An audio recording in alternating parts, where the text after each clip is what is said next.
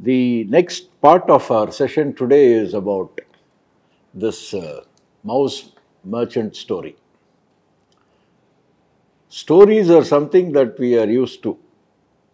It begins with grandmothers telling us the story. We look up to professionals giving us stories. One such uh, avenue is this mouse merchant story, a Jataka tale, where uh, there is a lot to learn from the, the entire narration there. Our students here, Aniruddha and Anan- Anamika are here, who have gone through this story, digested them fully. Have you digested the story?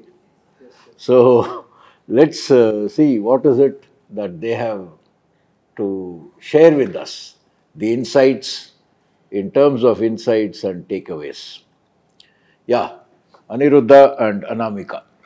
Okay, so while reading the story, there was an adage that um, continuously flashed in my mind, and that was this that when there's a will, there's a way.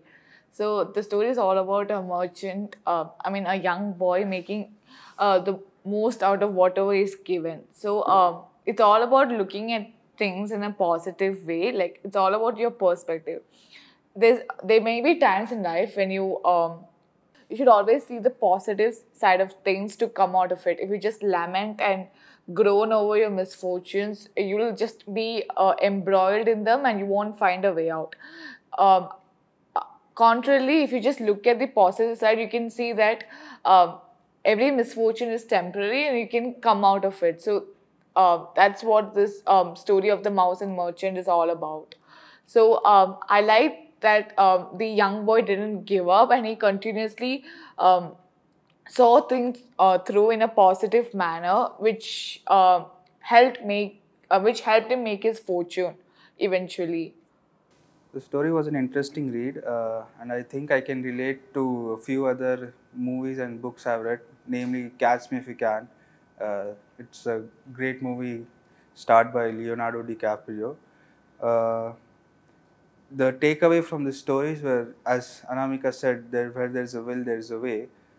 The boy had an incredible persistence to uh, do better and uh, perform better always. The inside the the story didn't actually brief on how he achieved his way, but I'm sure like while uh, doing each activity, he would have encountered failure, and the way he would have gone about it shows us how and he achieved success shows that he persisted all around.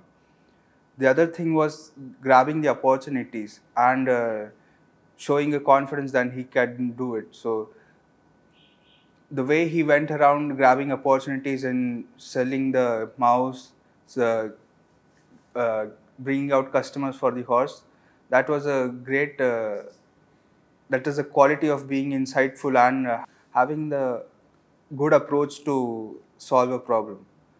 So, Aniruddha Anamika, one thing that I loved in this story is this. There is a part where he is supposed to reset a garden which was spoilt by a thunderstorm, right?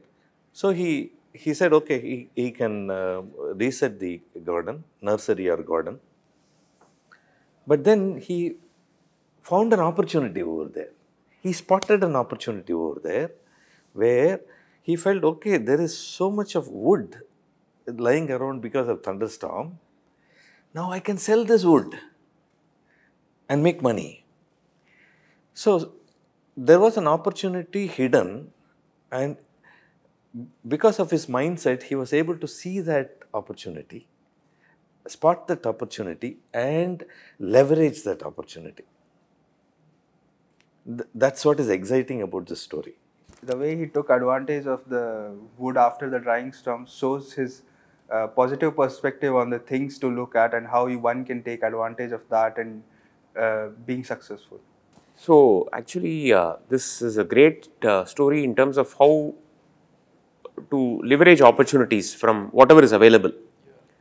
Uh, I was talking to a good friend of mine. Uh, initially, when COVID struck, a lot of people were kind of paralyzed, right? Okay, the, the normal life came to a standstill and regularly meeting people whatever used to happen uh, by meeting people, that just couldn't happen. Uh, it took a while for people to uh, accept and try out new newer things. And uh, a friend of mine who was used to doing workshops uh, also reinvented, just like many others. And uh, a few months down the line, I was talking to her and she said, okay, this is a blessing in disguise. Earlier, I used to travel a lot, uh, which was good. Meeting people in person always had its uh, nice things, but it also uh, consumed a lot of time. Now, I get to meet a lot more prospects and clients and uh, I save a lot of time on commuting. And I just need to log into a Zoom bridge or a whatever be the video conference bridge and uh, just get on and uh, the time savings is huge. I am able to also connect with people across the world, which I never used to earlier. So, uh, so the, the, the so-called uh, challenge has been turned into an opportunity. And this is not just the case with this person. Uh, we ourselves at uh, IIT, we could see that uh, we have been able to get international facilitators, alumni who have, for, for courses which um, needed a physical presence earlier.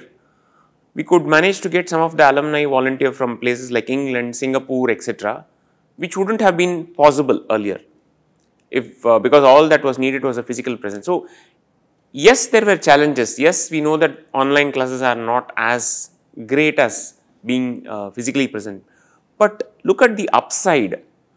For all the limitations, there is a huge benefit if we start looking at leveraging talent from everywhere. And uh, for, for the uh, same reasons, even they saved on commute. Even the people who are present uh, within the same city, if they are at a very far off distance, online offers an excellent opportunity to leverage their expertise for the benefit of students. So, I think it's how we look at the whole thing that matters rather than the situation itself.